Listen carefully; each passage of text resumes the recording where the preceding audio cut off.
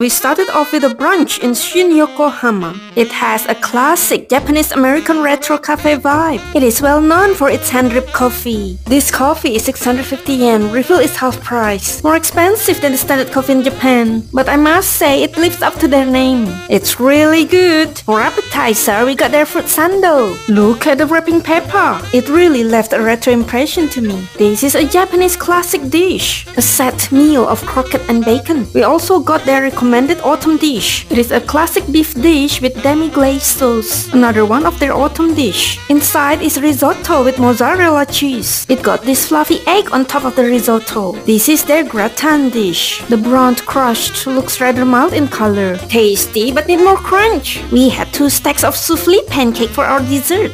It was not as jiggly as I expected. It was dry and not as light as I thought.